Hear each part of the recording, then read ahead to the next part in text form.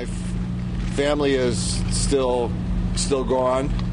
Uh, it doesn't bring them back. Uh, it doesn't bring back the home that we had. That's Dr. William Petit, the only survivor from a crime so tragic, so horrific, it defies logic. July 23, 2007 began as a normal summer day. Dr. Petit playing golf, his wife Jennifer and daughter Michaela at the beach. 17 year old Hayley was at home, where they all planned to meet for dinner. That dinner would be the last time the family would ever be together. Investigators say two intruders, Joshua Komisarjevsky and Steven Hayes, broke into the Petit's home through an unlocked door in the dark of night. Dr. Petit was asleep on the sunroom couch.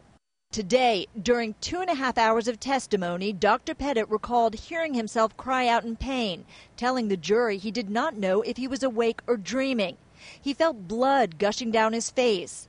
Standing before him were two hooded intruders. One appeared to be holding a gun.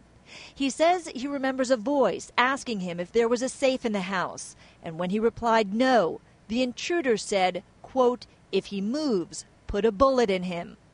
His own lawyers acknowledge that Komisarjevsky beat Dr. Petit bloody with a baseball bat. On the witness stand, Dr. Petit showed the jury how his wrists were bound and says he felt his way along the banister so he wouldn't fall. Once in the basement, an intruder threw down some pillows, then covered his head with a cloth and tied him to a pole in the center of the room. Hours later, Dr. Petit said he heard his wife in the kitchen speaking to the intruders, saying she needed to get dressed, get the checkbook, and identification. Dr. Petit said he heard his wife's voice, but neither one of his daughters.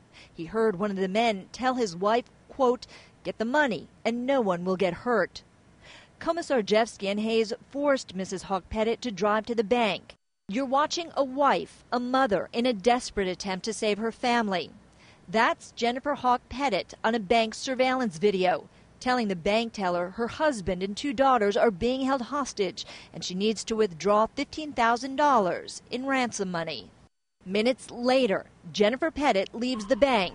Police, alerted by the bank manager, were dispatched to surround the house but ordered not to approach it. They say that's normal protocol in a hostage situation. When Steven Hayes returns from the bank with Jennifer Hawke Petit, it is 10 in the morning, nearly seven hours after the intruders broke into the home. Dr. Petit hears a commotion and cries out. One of the men says, Don't worry, it'll all be over in a couple of minutes. That's when Dr. Petit hears a hissing sound and says, I realized, quote, I had to get out. In a burst of adrenaline, the desperate husband and father frees himself from his basement prison. He rolls to a neighbor's driveway, bleeding badly and calling out for help. By now, nearly 40 minutes have passed since the bank manager called 911.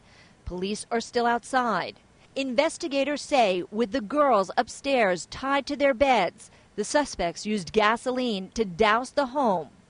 Screams were heard, and then the house went up in flames.